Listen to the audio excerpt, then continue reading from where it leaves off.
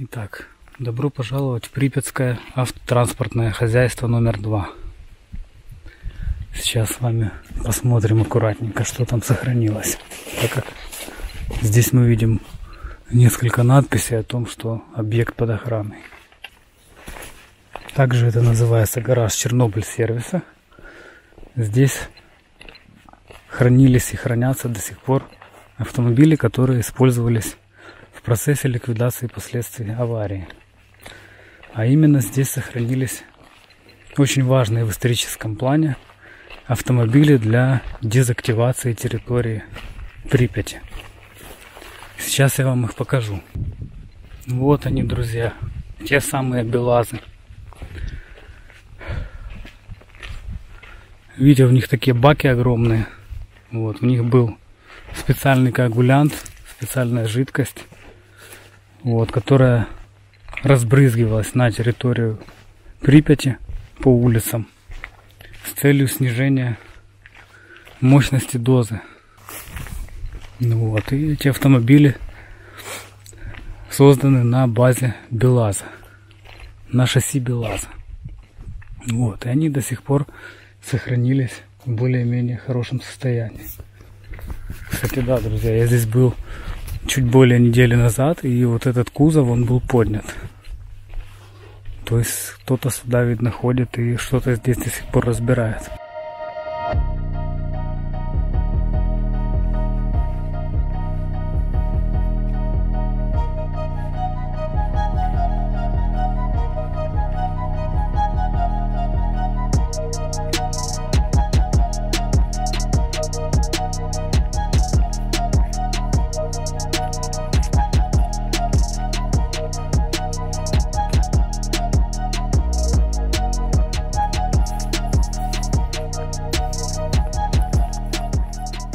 Сейчас мы находимся на площадке отстоя ликвидаторской техники в городе Припять.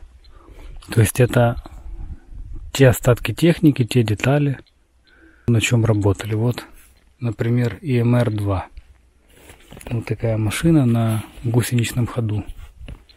Инженерная машина разграждения. Расшифровывается ее название. Вот именно такими автомобилями, точнее такими машинами – сносились дома в селах, таких как село Копачи и село Чистогаловка в зоне отчуждения. Радиационный фон, точнее мощность дозы сейчас у нас составляет 60 микрорентген в час. Это в два раза превышает норму. Норма это 30 или на этом радиометре 0.3 до 0.3. Вот. Естественно, ИМР, особенно вот на гусеницах, имеет загрязнение. Вот видите сразу радиационный фон пошел вверх.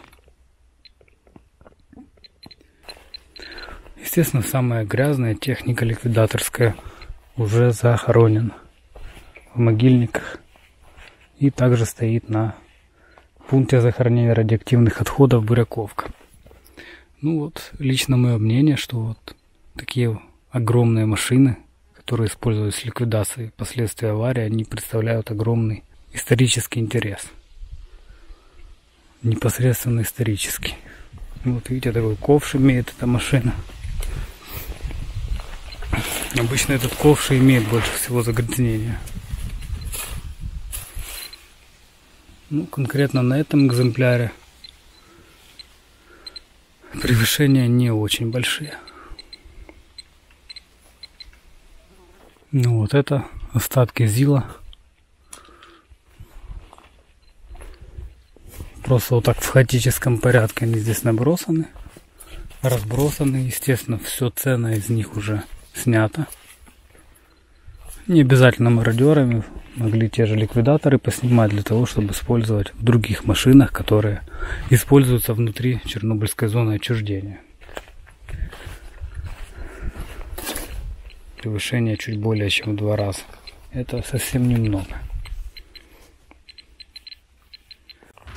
Вот еще один ИМР, только более сильно развандаленный, разобранный.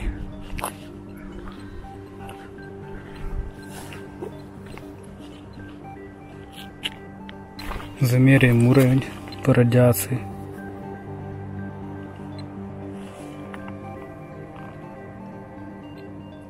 радиация в абсолютной норме 30 микрорентген также тут на площадке сохранился вот такой вот крас мы видим на нем значки радиационной опасности. Именно на таких кразах и возят радиоактивные отходы по зоне отчуждения. Вот он этот значок.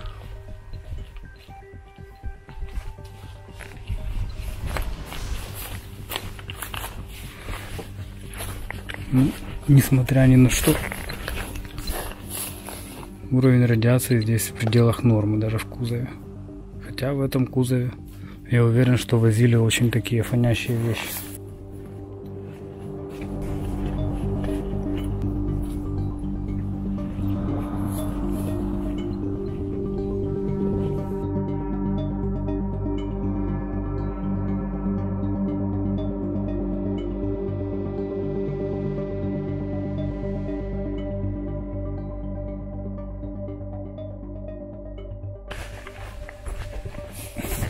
МОАС. Вот, видите, написано.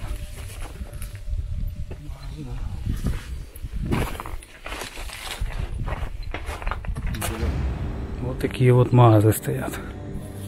Тоже абсолютно чистые по радиации. Ну, по гамма. Чувствительного дозиметра у меня нет с собой, к сожалению. Но вот так вот. Скорее всего, что здесь все именно очищалось все эти машины, которые здесь стоят, скорее всего, они чистые.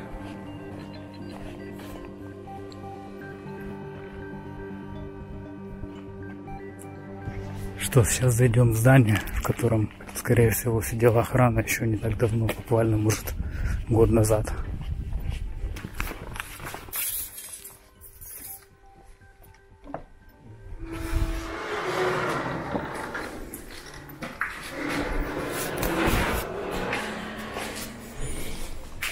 Тут видим номера.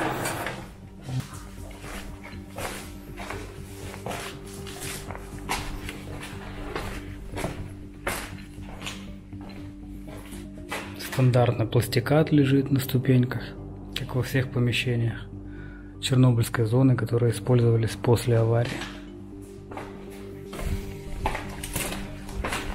Ну, вот здесь, в этих помещениях, производилась замена различных агрегатов, ремонт техники ликвидаторской. Вот. Ну, это все было в 90-е, в начале 2000-х, скорее всего. А вот потом это место просто уже числилось на балансе, здесь сидела охрана. Уже, скорее всего, никаких ремонтов не производилось. Ну, здесь мы видим, что это такое помещение, в котором еще ну, совсем, совсем, совсем недавно – Здесь сидела охрана, скорее всего. Вот, как видите, состояние этого помещения довольно-таки хорошее.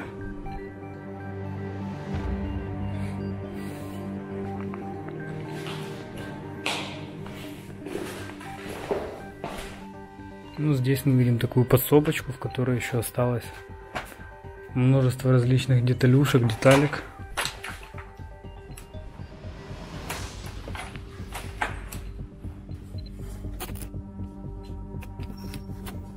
Здесь тоже детальки лежат.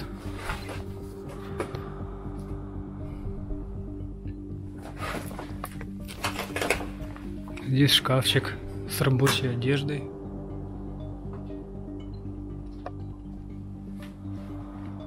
Множество различных болтов, гаек, э, крепежа. Бойлерная. Ну, бойлерная нам особо не интересно, хотя здесь тоже сложено немало комплектующих. Это тоже, скорее всего, уже минимум десяток лет не использовалось.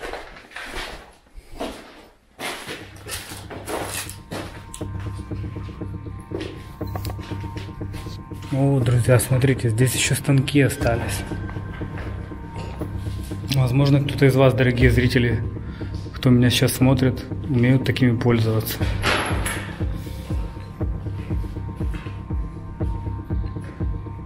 Резьба. Фрезерный, да?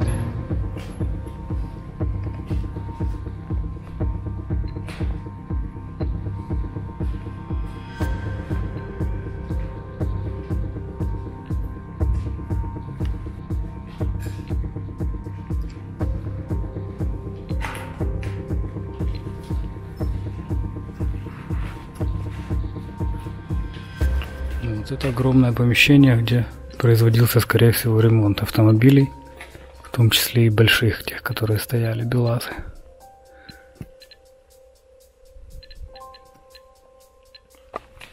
Здесь тоже видим различные плакаты такие, в которых наставления по технике безопасности для трудящихся в этом месте. Есть такой эффект понимания, что совсем недавно еще здесь кипела работа.